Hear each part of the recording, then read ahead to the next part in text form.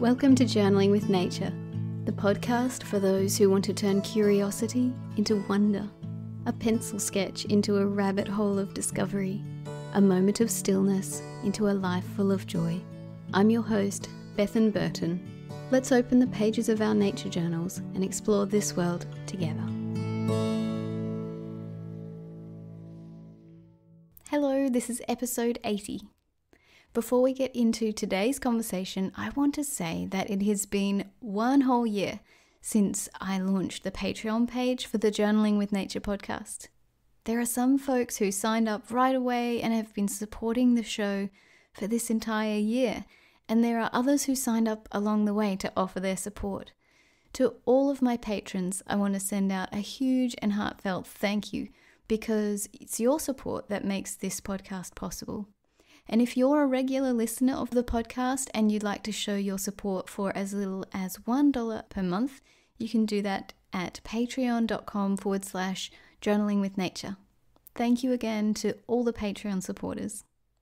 So now I'm smiling as I get ready to introduce today's guest because she is someone with so much infectious enthusiasm for what she does. Amy Schleser is a science educator who uses art, storytelling, and video to simplify and communicate complex ideas. If you attended this year's Wild Wonder Nature Journaling Conference, you may have taken Amy's workshop, which was called Doodling Diagrams. In her class, Amy guided us through the process of looking at tricky things like the movement of animals and taking the important information and putting it into simple and easy to understand sketches. In our conversation, we spoke about a major transition Amy went through in high school, the different ways that she combines art and science in her professional life, and how nature journaling is helping her see the landscape of her childhood with new eyes. Let's listen.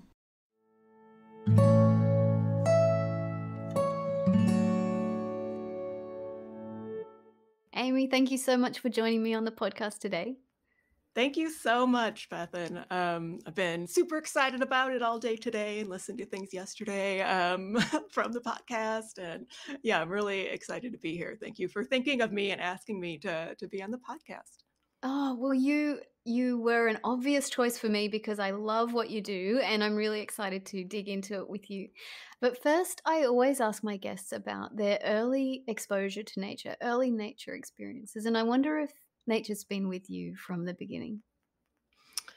Yeah, a lot of um, most of the nature I experienced as a kid was like backyard nature, mm-hmm. right? So, um, and getting a little obsessed about like, whoa, there's ant hills, what? And, uh, you know, watching ants for hours and then probably picking through their ant hill, unfortunately, and looking at the tunnels.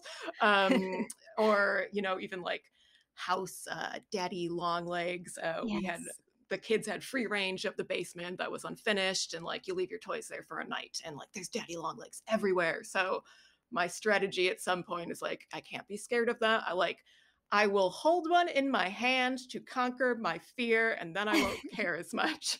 So um but yeah things like you know squirrels in the backyard or this giant willow tree that i was really proud of because it was the tallest tree in our neighborhood and somehow that made me it was a very special tree um, so yeah a lot of a lot of uh, backyard things or um, my grandparents had a farm so there were um, I don't know. I remember the insects and grasshoppers most, uh, and how I caught them in jars and accidentally fried them in the sun.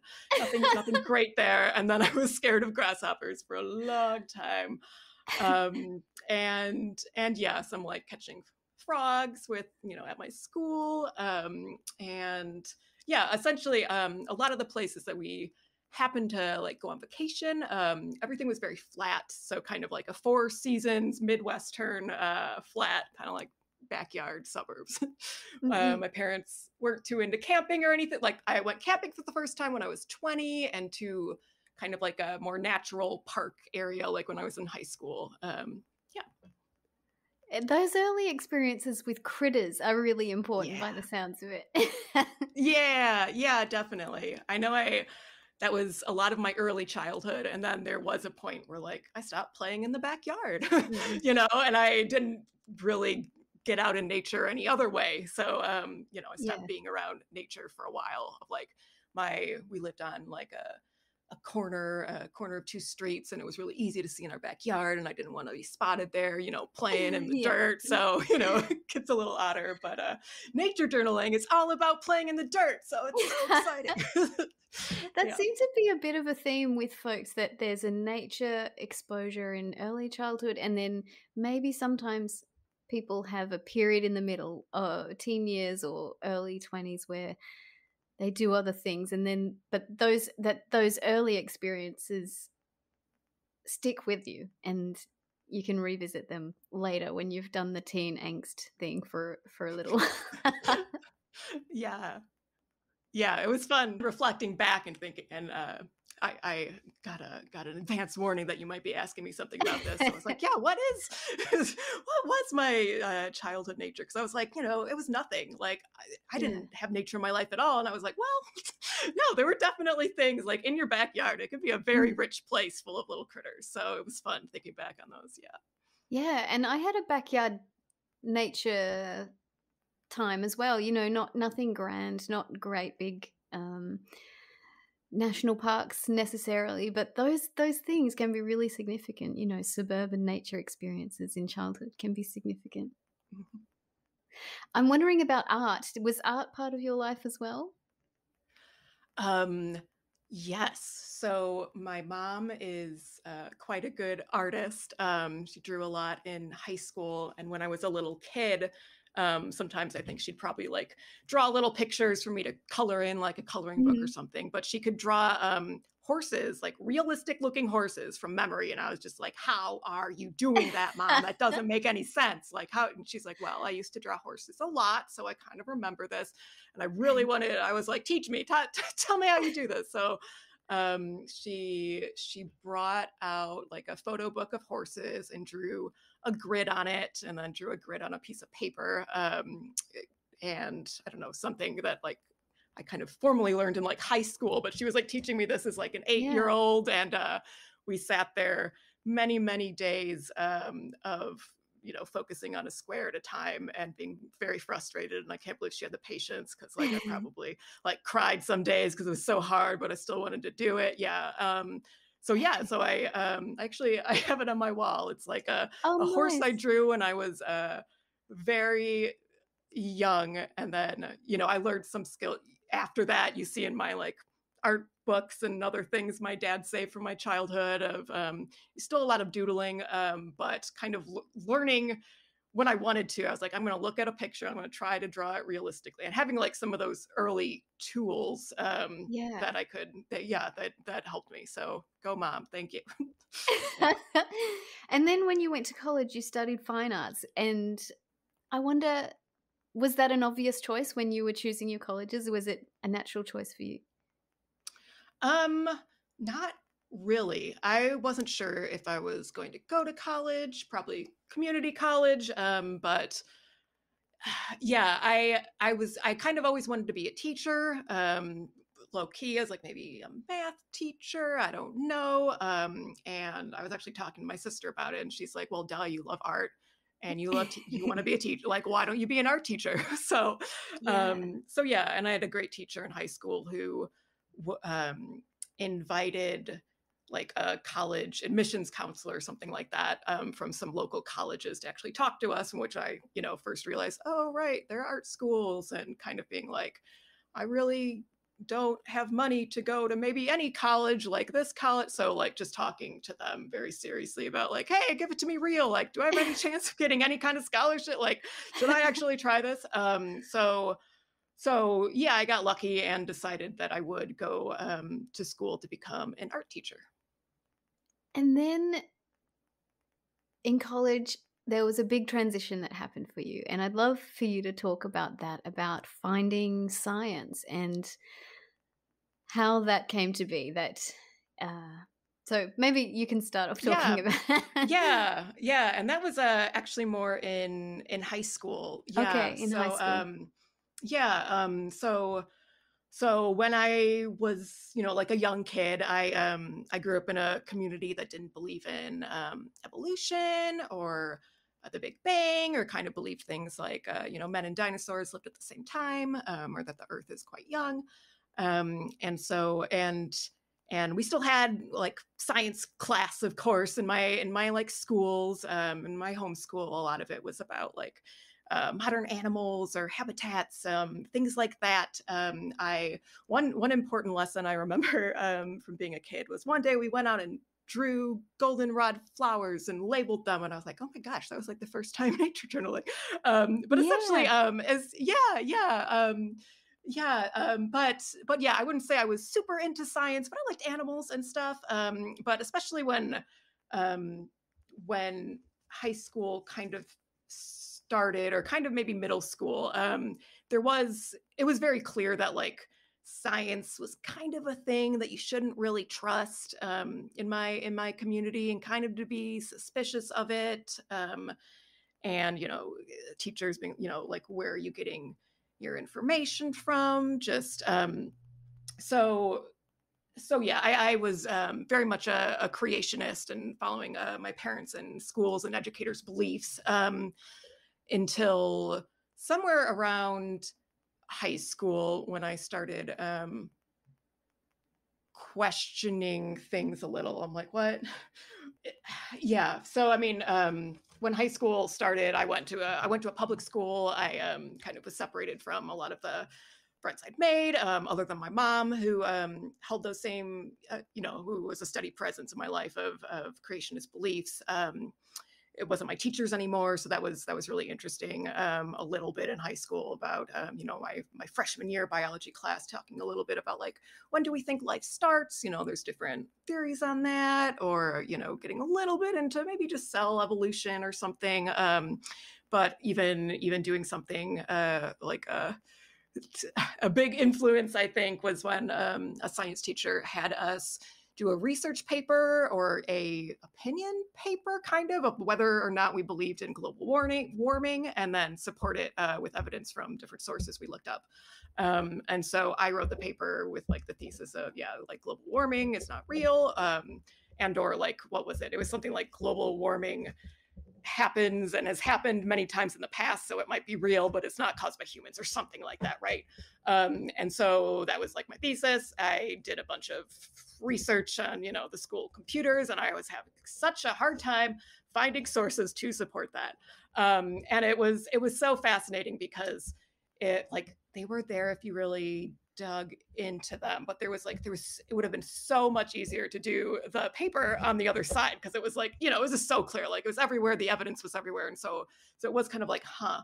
Um and i when when i was a kid perhaps we i don't recall ever directly talking about global warming with my teachers and whether that was uh, true or false but i think i i still just had it ingrained um, kind of anti or like science suspicion. So that was like probably maybe you know maybe it's false. I can't remember people talking about it. Um, so I knew that existed, and I always thought it was uh, kind of not 50-50 but you know like that that it was a big uh, debate perhaps um, and kind of doing that paper kind of made me realize like it's there's like a tiny bit of some sources that are disagreeing but like it is overwhelmingly um, uh, you know, uh, so so it was so interesting. Um, and so I ended up uh, writing the paper about uh, global warming um, not being real or like man-made. Um, but by the end of it, I, I just did that because I'd done all the research.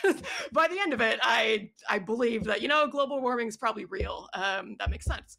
Um, so that was really interesting. I actually never told my science teacher that that he had a profound influence. I just I just turned in the paper that said it was real, and um, th- and that was very important too of having people who, you know, he let us he let me write that. He never treated me any different. He never said, "Huh, so you wrote about it," being, you know, and I I never mentioned to him like, "Hey, I don't actually believe that, but I wrote that."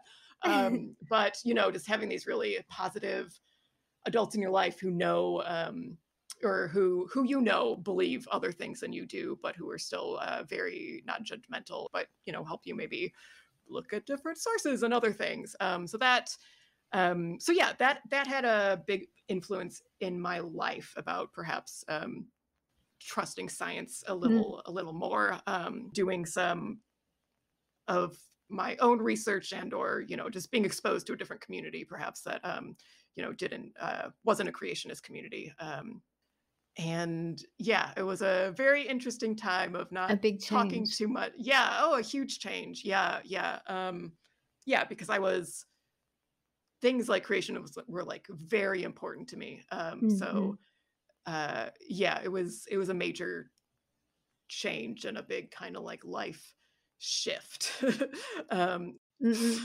yeah and so from from studying fine art now you work at, you call you you described yourself as a visual storyteller of science and i love that way of describing your job. You've developed science exhibits science videos for kids science curriculum.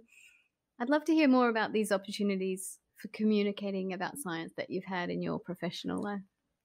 Yeah it's been yeah it's been i mean thinking about where I started and not liking science or being suspicious of it, and now being like, yeah, I have a science uh, career. I'm a science educator, and it's just um, it's it's so cool. I'm so lucky, I think, to um, to have the job and jobs that I've had. Um, and uh, so let's see. Yeah, I was studying art in art in college, but one of my favorite things really were the the science classes and math classes that I um, was able to take. It was interesting if like if you only have art classes, which mainly we did, like what am I going to make my art about? like I need something really inspiring. Um, yeah. So yeah, and so I was real. I was making a lot of art about about um, about math about in high school I was making a lot of art about why you believe the things that you believe and um, where where your information comes from kind of playfully um, but yeah and like trigonometry how does trigonometry make you feel? I was doing like pop quizzes um, surprise tests audience participation that kind of thing um, which is very fun um, but essentially um, you know my my school was in the end focused on art education classes because i wanted to be a teacher um, i realized that my gosh teachers have it so hard um, mm-hmm. so so hard um, and i was like i do not want to be a teacher uh, but what do i do with my education degree um, i had a professor that said um, you know like why you could look into education behind the scenes kind of mm-hmm. you know mm-hmm. like museums etc and so i ended up getting a um, internship um, at a museum doing kind of three uh, what was it 3d modeling of like installation cases and artifacts and and such so which i didn't have too much experience with that was that was lucky in itself um, and so i and that was at the field museum in chicago um, and i eventually applied for a job being kind of more of a, a writer there um, so i realized um, when i was designing things i really wanted to know more about like what it was like the specimen you know i'm placing them i'm trying to think carefully about materials and and light levels and whatever but like i'm like i really want to know the story behind these things and you know why is this so cool? And i want to i want to talk to the people doing the research and stuff and kind of realized ooh this would be a really fun job as well. So yeah there were a couple paths at the museum of doing say um, design work or more um, writing and development storytelling um, and so i applied for an open position um, as the an exhibition developer, so storyteller, uh, writer, and somehow again I got very lucky um, without much experience um, um being able to get that job, um, and it was it was so amazing to get to work with scientists um, and and just science communicators, and I'd never done that before and it was it was so fascinating to learn about. It was also a little strange you know i talked to my boss about like you know i don't have a big background in science. I definitely yeah. i'm like i definitely did not tell anyone. At first at least um, about my my creationist background like i didn't even believe in this stuff till like four years ago no. Um, but but yeah i was just kind of like you know i'm i i don't you know i don't have a deep background in science. I don't have a science degree. And he was you know telling me that you know our audience are members of the general public who also um, we're not expecting them that they have a deep knowledge of science either but are interested in science isn't like the museum visitors. Um, and that and that eh, you know we have to we have to start there you know and assume like yes. what what what does it take for them to to understand something? What actually interests them? What you know how do they um get get to learning and what do they want to know um, and so I I essentially was doing that process myself um, yeah. when talking to scientists and, and coworkers and stuff and seeing what it took you know what it was taking me to learn say about biomechanics which is one of my um, bigger projects there um, and then knowing like then how to explain it or what I found really exciting, etc. Of just like it's okay to be a member of the general public um, and being a science communicator because you're learning things and then you're telling other members of the general public about what you what you learned um, and how you learned it and what you were excited about. So um, it was yeah it was a it was a unique and cool uh, position to be in definitely um, and right before right before i um, left the museum i was able to kind of host just like a lunch and learn um, or discussion that um, people occasionally did. It was it was a thing that happened there, and so I did one um, just talking about being an ex-creationist, um, and because some people at happy hour were like, "What? You used to, you know, that's really interesting. Yeah. Um, you should talk about that." So I did, and it was um, it was fascinating. We with a with a great you know conversation. Um, it was also so interesting to to learn more about scientists themselves and you know really Mm. thinking of them as um, kind of you know geniuses are just like so smart and knowing like all the things and then kind of realizing like but scientists have to pick like a very small area of focus like the Yes. scientist i was mainly working on an exhibit about biomechanics like um, was doing most of his work on fish jaws and specifically the fish jaws of a sling jaw sling jaw wrasse which like live in the red sea and that was like his thing you know so he was so Yes. so you know it's so fascinating he was a professor of biomechanics and but he'd also put us in touch with other experts in bio you know, you know and so so it was really interesting to um to actually get to work with scientists see them as everyday people um and Yes. you know obviously who had done so much studying and were were very smart and capable but like um yeah just to you know be able to drink some beers with them at happy hour and um you know just to just to get to know them um was was a really uh great experience yeah. And then after the field museum where i am now i am um, creating science curriculum for kindergarten through fifth graders with um, a really amazing team of science dorks um, again as well um, so much fun. I'm doing um, in the museum it was kind of like you could do kind of art and design or um, writing and storytelling. This has been really nice at my new job in that i am kind of the lead visual storyteller uh, but it, it was such a small team especially at the beginning it was a startup um, that you know i got to i do um, you know i get to help edit scripts. I'm very involved in that process. One of the products that we make i wrote as well as do the visual. So um, it's a way Mhm. to get your hands in a little of everything which is uh, really exciting. Yeah, I love that. So I really love the word storytelling. I think it evokes a whole lot of things. I think that telling and listening to stories is just so much a part of what it is to be human. And I wonder what storytelling, what does the word storytelling evoke for you? What do you what does it mean to you? part of storytelling is not just starting with the answer like reading a mystery novel and not just Mm-mm. finding out flipping to the end it's like going through the process and see, you know if it was a mystery novel Yeah. you're you're finding out the clues you don't know want to know who the killer is and you know you don't want to just flip towards the last page of the book um and so and yeah it's really it's really getting at what is interesting to people and what's hooking them in you know why would Yeah. they want to know this you know science uh science fact you know not not starting with the answer of like Mm-mm. clouds are made of water vapor but starting with like the curiosity of like man clouds are weird like there's these white things floating in the sky what in the world could they be makeup like if i could touch a cloud would it feel like like warm cotton candy or smoke or what is it you know um and so so yeah really storytelling and like storytelling again the idea of well it can it can just be words but to me uh, storytelling is really tied into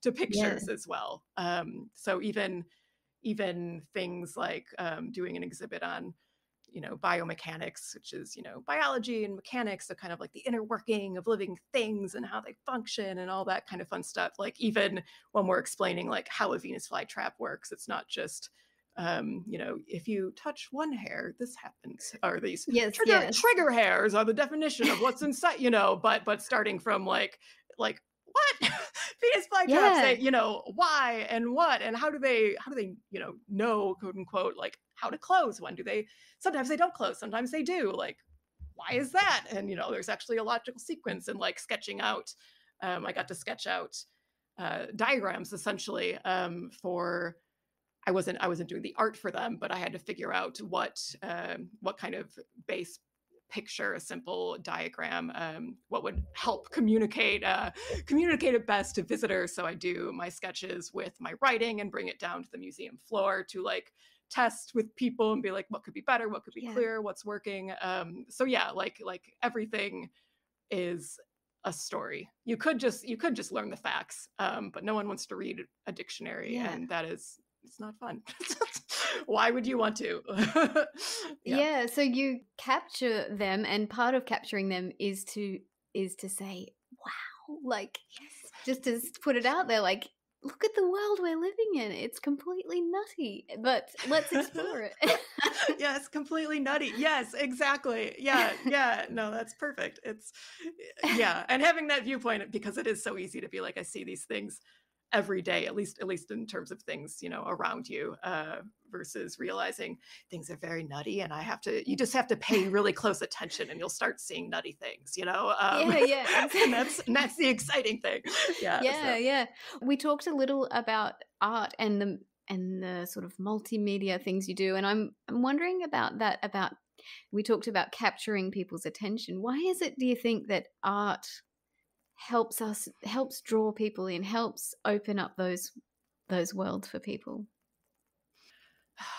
yeah i I mean, I feel like this is too too academic. Of like, there's different kinds of learners, and some people like to Mm-mm-mm. read, and some people like to hear, yeah. and you know, so so not not quite that, but it's it's about I don't know, it's about style too. I mean, part of it is just like, is it aesthetically pleasing, um, that kind mm-hmm. of stuff. But um, I think also like just communication is so much easier when you have multiple tools, right? So yes. when you're able to pair the words with the images, whether you're making, say, I, I make a lot of um, videos and and video scripts and and kind of animations, um, and there's some things that are really hard to draw. There's some things that are really hard to say, but very easy to show. You know, those kind of things. Yes. Like like they work so well together you know like um having it's really hard to explain something using only pictures and zero words completely it's kind of possible you yes. know and just like um yeah the the same thing about using only words to explain things it can it can be done but like picture like it just they support each other they so much like yeah mm-hmm. yeah and i mean that's my nature journals are so full of words um, and i think it leans towards more and more words like all the time. Yeah okay. So how did you come to nature journaling? How did that world start opening yeah. up for you? Um, so after so I, I, grew up and lived around the midwest in chicago most of my life and when i um, when i knew i was leaving the field museum because of layoffs um, i was starting to look for jobs that I was like anywhere out west, anywhere with no winter. I had recently taken like my first ever cross um cross country road trip to places that weren't flat. and I was just like, oh my god, like I wanna I wanna live out west somewhere. Um so the so my my current job, the job I ended up moving to uh was the San Francisco uh, Bay Area, and part of my research of, you know, do I want to live in the city I have never been to? Is um, okay, what kind of community communities are there? Will I be able to find artists? Uh, you know, what's the science community like? And um, and yeah, so just seeing all, you know, this kind of researching and being like, oh, there's a there's a plein air group right right in the in the suburbs that I could go to. So like landscapes outside, that could be cool. And then I was like, oh wow, there's this science art group. It's like the, the, Nature Journal Club. I'm like, oh, this sounds like my type of people. I would love, yeah, like I would love to draw with with scientists or thinking about science. I was like, oh, that's cool. So yeah, there was a bunch of things uh, that drew me to wanting to live in San Francisco. But right off the bat, I was like, yeah, I wanna I wanna check out that. Um, so my first about year of living in San Francisco. Um, I didn't have access to a car. I was mainly doing things via public transit. So I keep hearing about these events and being like, oh, I oh, I can't get there easy. Should I go to this? I'm like, oh, should I like rent a car?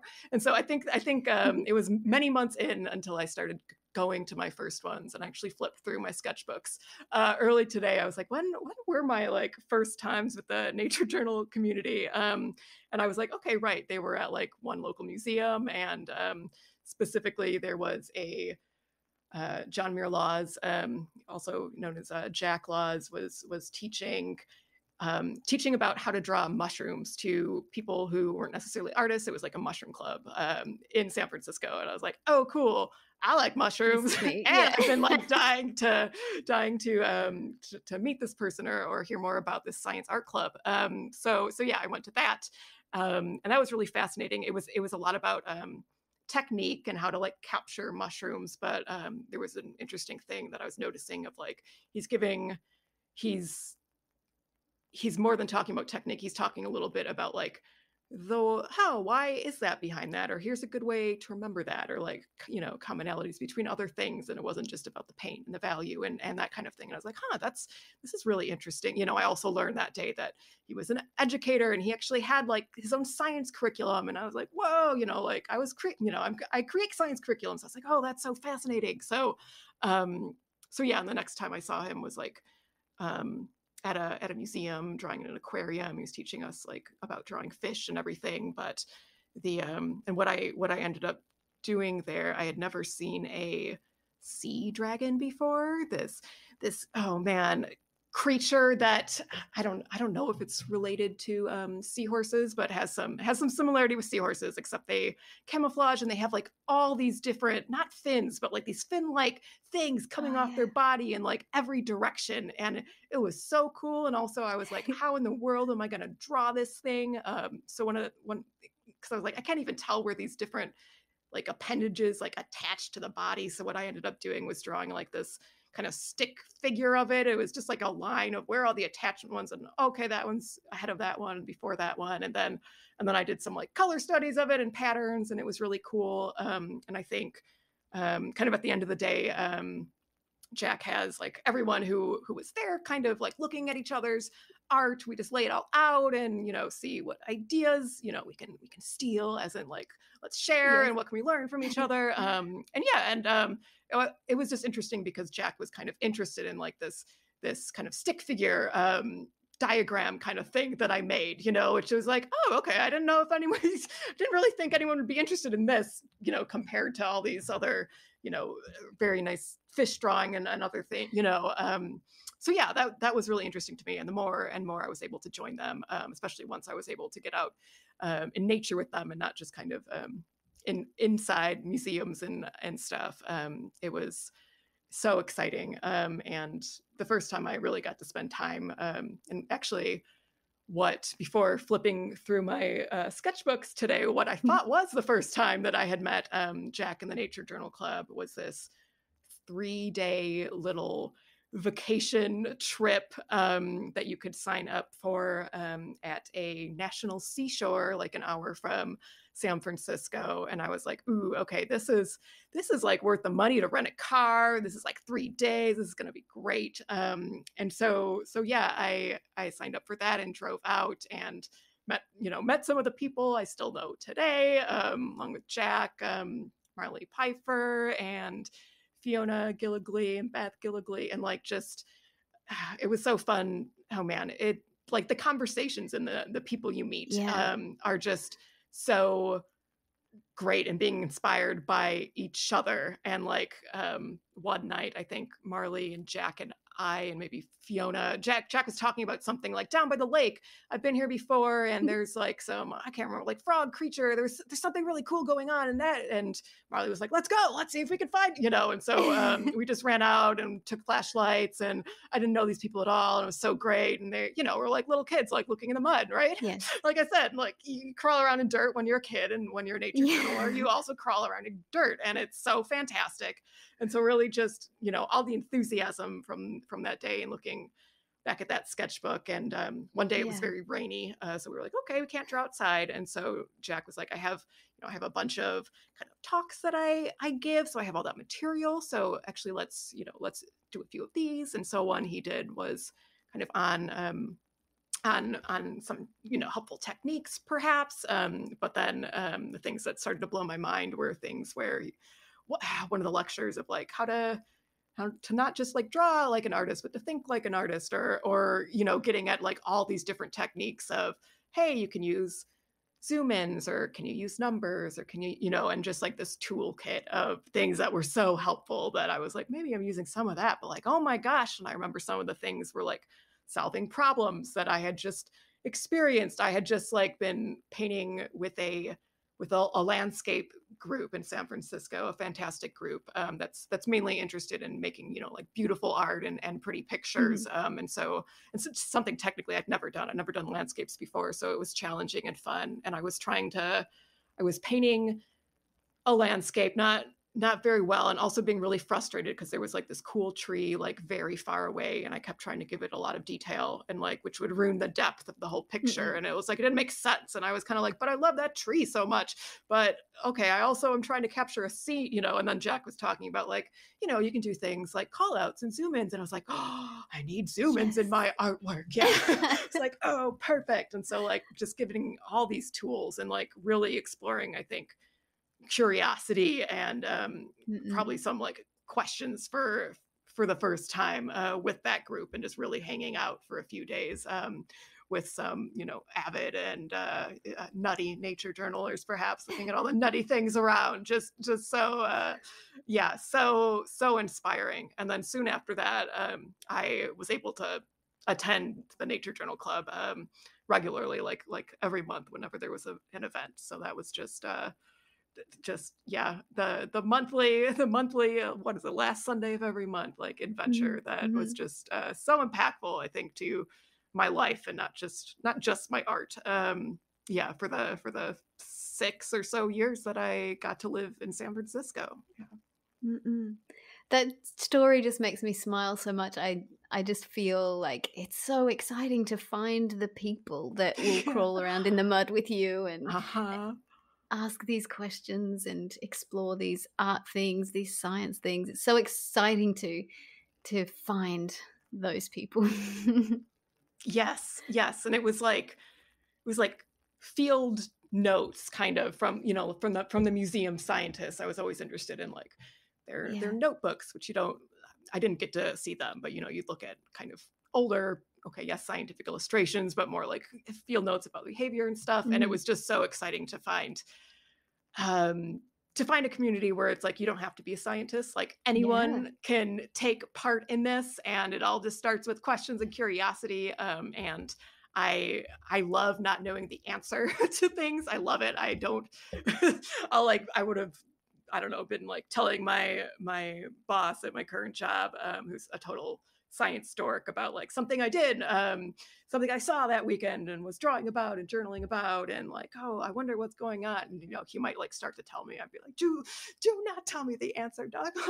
Like, I don't want to know. Like, they're still so because like yeah, you just come mystery. back to it. Yeah, again and again. Yeah, these open mysteries that like you, I'd find clues like later yeah. that I don't know. Yes sometimes I don't have specific questions, sometimes I do, but like you connect the dots later and it's really fun like to to figure some things out yourself, you know? Yeah. Um so and then there's the balance of sometimes well more information will will bring you down paths you didn't previously think of. So sometimes I'd be like, like, give, you know, can I have like a clue? like, can you tell me like a little bit about that? Like, you know, and so I'd be like, I need something else to think about, but I don't want to know exactly yeah. what the answer to my question is yet. But, but yeah, so a lot That's of my so pages. Yeah. Yeah.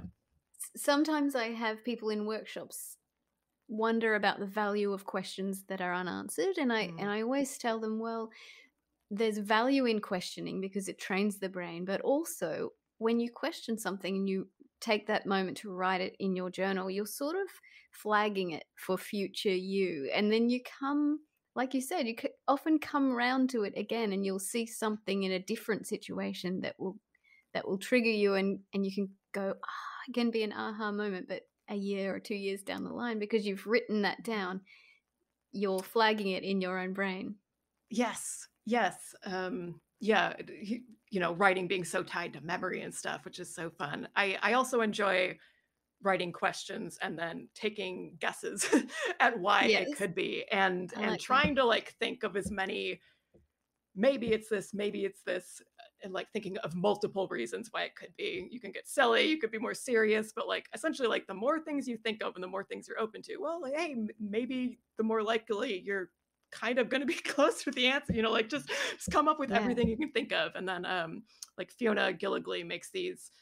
Oh, I don't know what she calls them, but they're like they're like Question question, chain. chains. Yes, question Yeah. chain. Yeah, of just more and more and more questions. And so doing that is so so fun. And I used to do that to like a smaller extent, and then like seeing Fiona's art like making me like go even deeper. And that's that's often why my page is like so full of words often because I'm like asking more and more questions and thinking through theories, and then do like I love doodling or like diagramming what the theory is of like maybe it's this maybe it's that and like trying to explain it to myself like does that make sense i don't know but that would be cool you know um so yeah, Yeah. questions and um not needing to know the answers really uh, is really powerful i think about nature journaling Yeah. So let's talk about doodling because you're really well known in the nature journal community for teaching people to doodle diagrams. And I wonder if you came to this sort of style because of your history of um, teaching science. How, how did the doodling diagrams thing start? Yeah. Um you know, people asked me this previously and like I I didn't make all the connections that over the years I'm kind of like, "Oh right, I used to do that kind of diagrams." Oh right. So so ha- having thought back at it, like I've always been interested in like kind of the visual language of things like Mm. math. Um, I, I mentioned like in college, I'd make a lot of art about math kind of things. Um, and then also um, at, when I was creating, helping to to create a show on biomechanics um, at at the Field Museum, I mentioned that like part of that was was diagrams, right? And and just seeing like the the less realistic the pictures are that go with your diagrams, like the more effective they often are because you're Yes. stripping out, you're just showing the information you need. So, like, you need to be able to draw attention to whatever it is that you're talking about.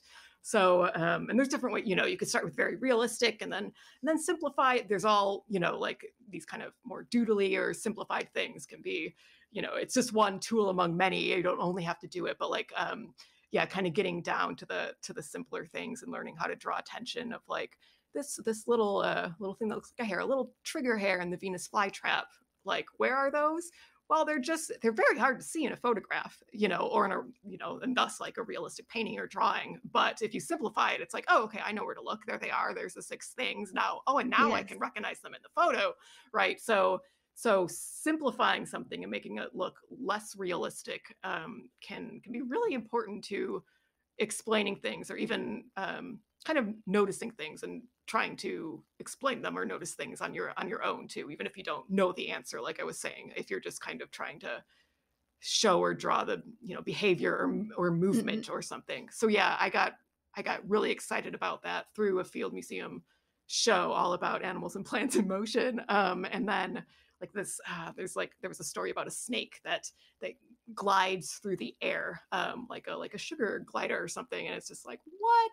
Um, and then i knew the answer obviously because i talked to the scientists but then it's like okay how do i get across that answer? And it's this crazy thing where they um that their rib cage is almost like a hinge and that they can they can open up their ridge cage which makes the snake wider and flatter and a bit more like a wing right? And so so i start with that knowing i need i need to explain this in in a kind of museum graphic and then you have to think about like okay uh, yes words and then visuals and how do like what angles am i showing? Where am i starting? Like you know i need to show a cross section of of the ribs but starting there is very confusing you know maybe maybe I do that whole snake and then you you know do the zoom in which i needed for my landscape tree whatever you know the zoom in Yes. uh, okay this is this part of the snake and then this is how it looks like before it opens its uh you know opens its rib cage and this was what it looks after and then oh look at the similarities between that shape and the shape of another generic thing that flies or glides um like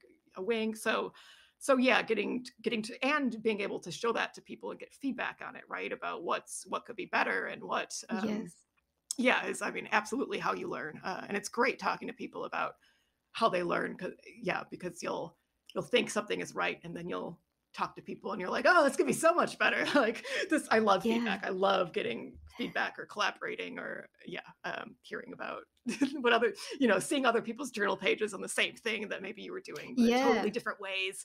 Uh, or like, you know, Jack saying like stealing ideas from people and just sharing, uh, sharing resources and different ways, you know, uh, adding different things to your like toolkit, uh, is so, yeah, so exciting. Yeah, so you did uh you gave a workshop on doodling diagrams for the Wild Wonder Nature Journaling Conference this year and I loved it.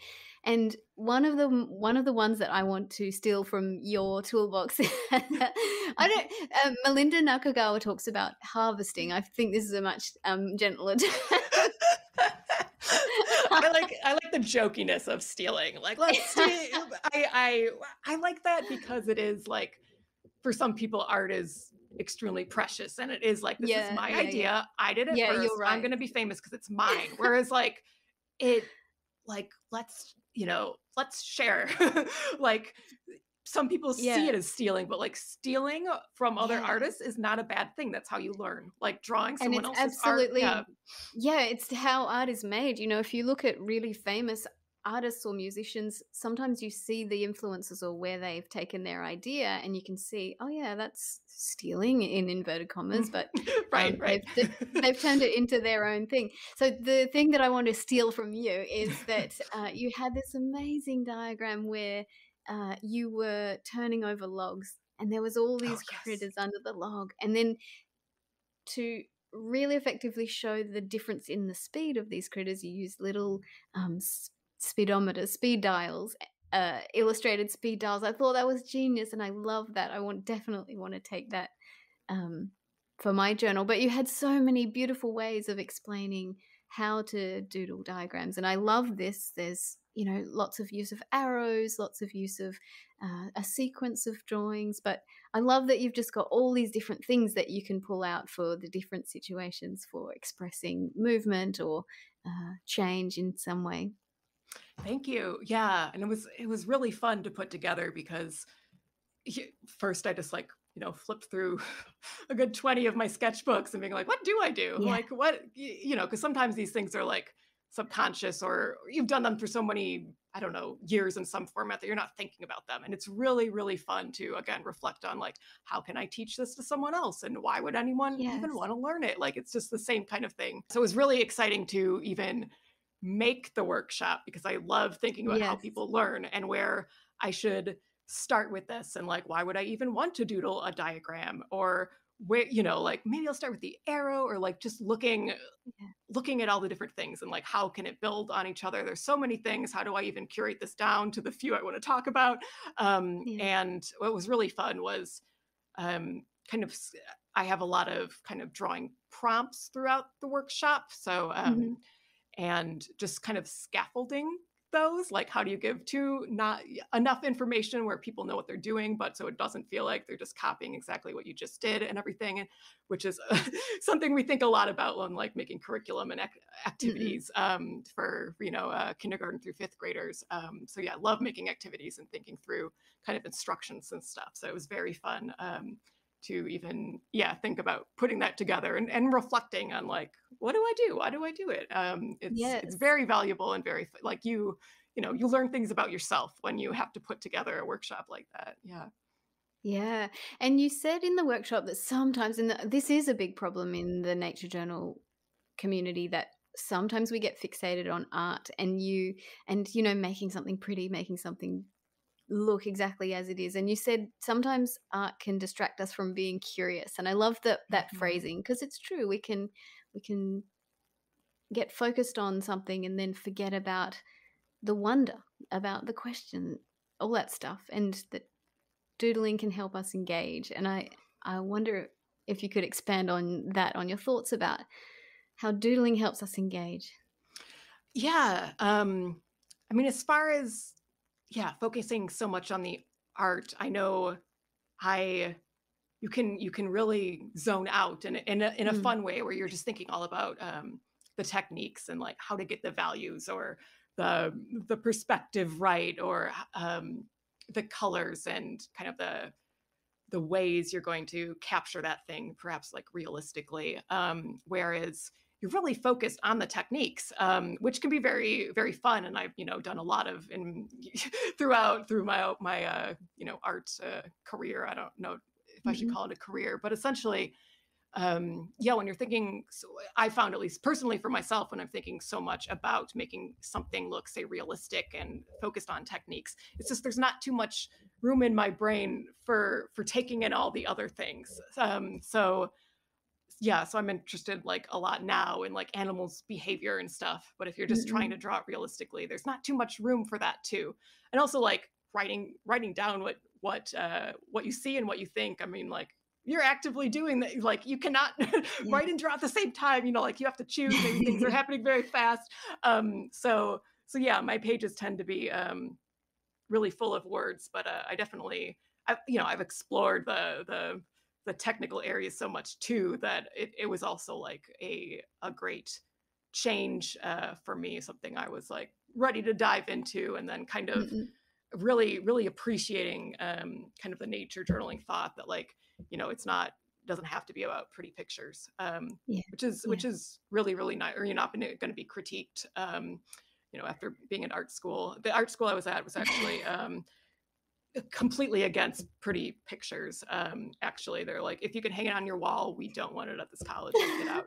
Uh, this was the school, of the Art Institute of Chicago, and I, I did. I made all my art about like it was like survey based and stuff. It wasn't any visual at all. Um, but yeah, right at the end of end of um, going to school, I did some scientific illustration classes, which were great fun at the museum, and that, of course, was was getting a very beautiful but realistic picture. Um, mm-hmm. And it was really cool. Um, I was drawing taxidermy, um, uh, amazing taxidermied animals, and it was so fun to learn how to capture them realistically and refining that. Um, but yeah, kind of kind of realizing. I remember I remember like I picked this one bird like a spoonbill from this giant hall of birds when there's like hundreds and i was like oh because its beak is so interesting. But um you know i spent so much time focused on like getting it to look right. I don't even know how much i thought about like well why does it have that shape of a beak? What? you know? You know? Um now now that was like still taxidermy you know? So there's also there's less to observe in that like you can't see how mm-hmm. they move you can't see you can't hear them etc but like yeah once you once you get out in nature look at animals, it's both incredibly frustrating because they move and like trying to draw them is uh, crazy time. It's like really like just it's you know if you if you try to do realistic pictures of moving things, you will drive yourself crazy if you want to be realistic. Um, so so part of it is that, but also like yeah. just really freeing that like I don't you know I'm I'm not even really interested in capturing things realistically um, anymore. I feel like that's not what I get most out of nature journaling mm-hmm. um, at all. So so yeah, my my pages do go a lot towards um, words or kind of like yeah like doodles. I do I do like the challenge of like getting things getting the proportions right and stuff sometimes. So sometimes it is more um, accurate and such, and yet um,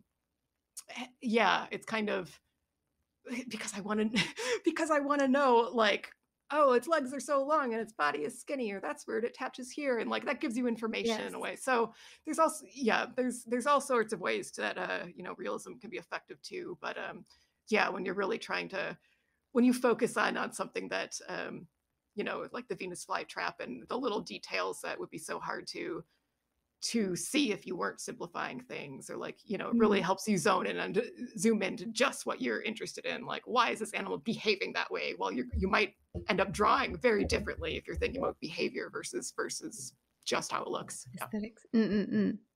So you've recently moved back to a region where you grew up and you're developing a new relationship with this place and i'd love to hear more about that. Yes um, so i grew up um, in the Midwest, uh, in the suburbs of Chicago, and I lived in and around there um, for all of my life until I was about um, 25 when I moved out to San Francisco and started nature journaling, etc.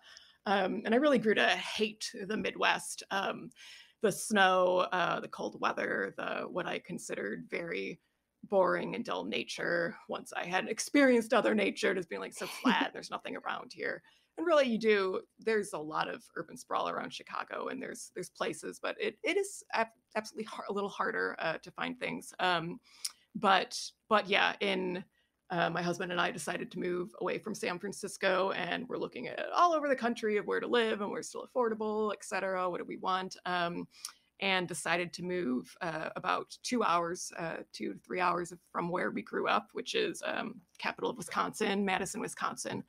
Um, and part of that was a choice that there was more nature in the immediate area. There's even a few hills around here, but um, it still is, you know, it still is very similar to the nature um, that I grew up in, um, grew up with, and I was kind of excited about moving here, but also a little scared that you know the the weather, the snow is going to make mm. me really depressed again or i was just like you know after the beauty after the beauty of san francisco and the diversity of habitats and stuff it is hard to compete and i knew i wasn't going to get that again but also like yeah and even like um, there's not a nature journal community here right now so mm-hmm. like will i still nature journaling? Was it mainly a social thing for me? Will i be motivated to do this? Geez i hope it's still in my life i don't know um, and so oh i've just i've just found it so fun here after moving here of just getting to see sometimes like the very familiar stuff that I might have grown up with, but like geeking out over it and seeing it in a whole different way. Like I think nature journaling just changes changes how you look at the or the the things that you notice. Um, just all yes. the little things you notice. I'm obsessed with squirrels right now. Like, oh my gosh, they're just such chaos creatures. They're so fantastic. Um, and or like the little all the summer I collected seed pods. It's like it's like all I did this seed cut seed pods and like cic- cicada shells and all the different types of kind of cicada shells and how how how dead it was. Like you know like what you know there was a dead one but is that its shell or is it not its shell? I think that uh, oh yes. this one's a little different. Oh, mm-hmm. oh this one's a little different. Oh weird. I know you know i think they're exoskeletons but this one obviously isn't or is it that way you know and just kind of all these yeah everything's so curious and and even in the winter like there are it, i've learned to deal with the cold um you know like now that um you know really really buying uh expensive winter gear really is the key some mm-hmm. some mm-hmm. things the expense actually matters and the quality so that's been uh, good to learn but uh but yeah as long as it's warmish outside like the the or you can even if it's freezing outside as long, long as you're warmish when you're outside um yeah, yeah the things the things in winter are so fascinating and it's so easy to see it as all kind of dead or like sleeping um be, primarily because you know all the all the leaves are gone from the trees and things like look dead but it's so it's also so exciting to be like what are all the things that are not dead like there's so much interesting yes. thing or like if things some things have died like ooh how did they die or like you know that they're just they're not dead they're like temporarily uh you know it's kind of like a superpower when trees lose their leaves totally. because they're actually doing it to like save themselves energy and all of a sudden you know and like ooh when are they going to bloom? or um or you know uh leaves again. I when i was collecting things like cicada shells um or exoskeletons or sometimes just dead ones i don't, I don't know why but um what the difference was or why they died. But anyway yeah when i was at the same time when i was like um collecting insects and everything um later later in the fall when it was starting to become cold i found a dead caterpillar outside these really cute caterpillars that I knew when I was a kid. I saw them around school. They're called uh, generically like woolly bears, so woolly, and they're brown and black. And I was like, oh, here's a dead one. But also, yay, because now I can bring it inside and I can I can uh, have it as part of my collection. And so, and then uh, it was all like curled up and like you know some insects do when they die and so cute and then the next day it was just moving. And i was like this is not a dead it caterpillar. it was just cold. Oh. yes. I was like wait what? Do caterpillars like hibernate or something like what is going on? And then i was like geez i hope i didn't ruin his his whatever cycle. I was like oh no. yeah. But also i was like i had no idea um That's that that you know i was very much assuming that butterflies and moths like all had very similar life patterns and then you realize like not necessarily at all yeah. so yeah there's this i put them back outside uh, or her uh, and i know i know where i put it i checked the other day it's not it's not there but uh, who knows wow. maybe um, but but yeah so like little magic things like that um, and then also i'm doing a bigger project right now where um, since there's uh, there's not a nature journal club here, I've been doing a lot of my nature journaling uh, through the Audubon events. So um, different mm-hmm. bird focused events, or they also um, organize things about like uh, monarchs around here and prairies, so other other important things to our ecosystem here. Um, so I just bring my journal and draw during all of their events. I'm just like, okay, that's my time. I like I like having yeah. time set aside, which was very helpful for me to get into a habit and drawing with other nature journalers. So um, there's there's a few less. Uh, it's a bit less frequent to have uh, events in the winter. Uh, they try, we do, um, but but also one of the the winter thing citizen science projects I saw coming up um, was monitoring bald eagle nests.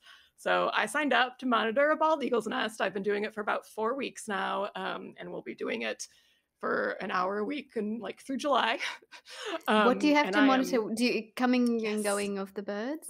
Yes. So um so it's there's a there's a giant nest um in a tree on the side of a marsh and I'm I there's a confidentiality agreement. I cannot tell anyone where it is. Um but essentially I there's there's certain data that data that they want us to collect as in um like are are the adults even perching on the tree? You know, are they mm-hmm. present? Mm-hmm. Are they in the nest? Are um are they eating or did they are they building the nest um, you can tell um, th- this is this is a circumstance where like I had to know a lot of the answers right away. I couldn't, yes, you know, yes, I couldn't yes. let all my curiosity go wild. So you know, they showed us like when the bald eagles are kind of sitting at different heights in the nest, you can actually tell of like the lower is when there's eggs still, and then after they've hatched to not squish their little babies, they're like up slightly higher. So like wow. you're looking for all these details, um, and then specifically uh, the times that that any of these things happen. Um,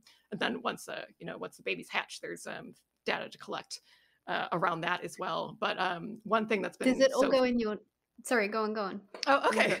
Um, it, well, predicting what you were going to ask, it does all go in my nature journal. Um, yeah. and then I'm kind of, yeah. And so I've also realized that um, it's really interesting because uh, there's there's uh, I'm like actually maybe I can't say that anyway um near this near this nest like I'm sitting mm-hmm. in a place that you know it's the middle of winter when I'm starting and I moved here recently this is my first winter I've only lived here like 8 months um and like it's not just the nest that and the eggs that are going to change like everything around me is going to come back to life yeah. I have no idea what yeah. any of these plants look like right now they're just like dead and they crunch when the wind blows and most of them you know and just kind of realizing oh man like I'm going to observe everything changing over the next six months.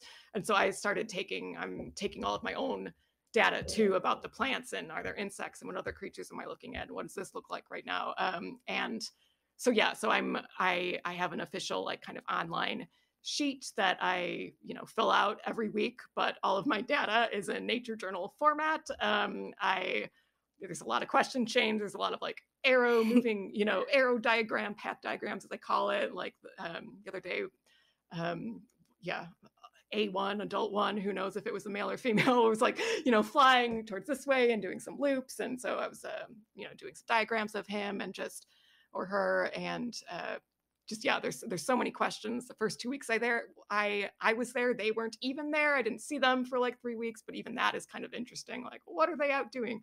You know like things that could seem very boring like the absence of things is can actually be really interesting yeah. you know that kind of that kind of stuff. So i'm really excited about seeing how the entire landscape um, changes um, and also, I mean, part of this is a strategy to force myself to be outside, make sure that even if it's cold, I'm getting out there. Um, but which actually I had no problem doing. I'm always I'm always outside. It's great.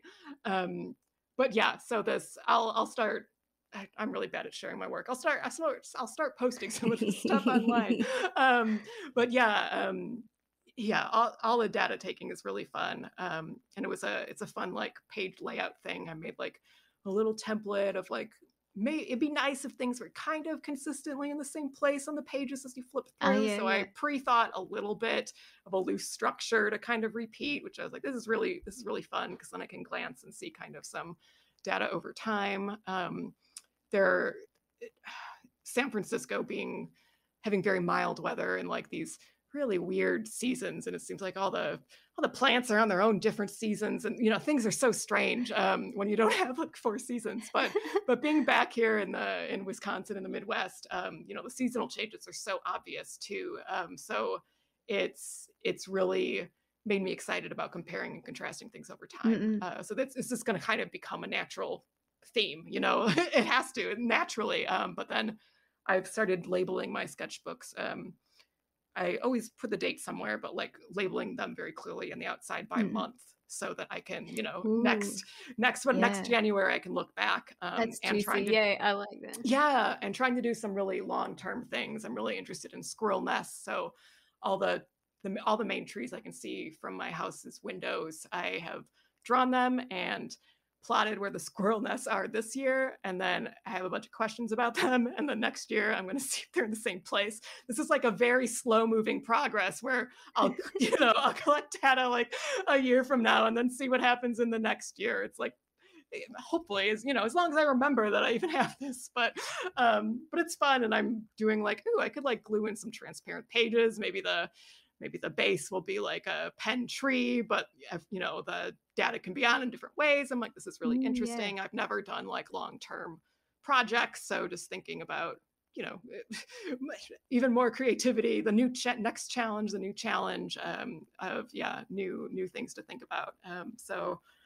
so yeah, I'm having, um, it's, you know, I'll, I'll always love and appreciate my time in San Francisco so much. Um, the the amazing diversity of wildlife there and habitats just so cool um, and of course there's a there's a, a, very large nature journal club there but um, mm-hmm. i'm slowly working on uh, getting my own um, art community together here there's actually a lot of art communities but i'm trying to specifically focus on nature drawing and i, I have a long-term uh, strategy I know, I know how I'm going about it. And it's just like in its beginning stages, but it's starting to like come together just a little. So I'm super excited. So um, yeah. So yeah. I love that. I love that nature journaling eh, the the lens of nature journaling is in is helping you see your the nature you knew in a whole new way. It's beautiful.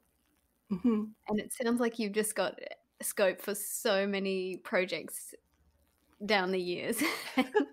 yeah, yeah, and it's you know I I found the answer to my to my question of like you know am I going to be motivated? Will I still do this? Yes. And I'm like I'm so glad yeah. that even alone I am you know so motivated. Yeah. Um, to continue nature journaling, it just seems like it's a very permanent part of my life now, which is which is great. I can't escape it, and it can't escape me, so it's great. Yeah. Amy, thank you so much for joining me today and for sharing your stories. You've got so much, so many amazing stories. I've I've been smiling. I've had my mouth drop open. It's it's been so good to talk to you. Yeah, it's been so fun to meet you, Bethan, and chat. Um, this is great. Thanks, thanks so much uh, for having me on your show. I didn't I didn't listen to too many other podcasts be before this because like is it gonna make me nervous? And then really in the last yeah, couple days yeah, i was like yeah. nah it's not gonna make me nervous and now i've been like watching all of them and some of my friends have been interviewed. I was like oh i gotta listen to gargies and I, yeah and so i'm so excited to continue to to follow your podcast and go through the archives um and yeah it's just it's been uh it's been so great meeting you and getting to to be on the podcast so thanks so much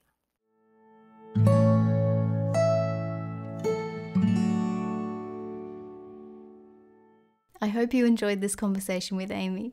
This was one of those chats that left me with such a buzz. I feel ready to go out with my nature journal and try to simplify patterns and movement and whatever other complex things I can find to put down in the form of a diagram.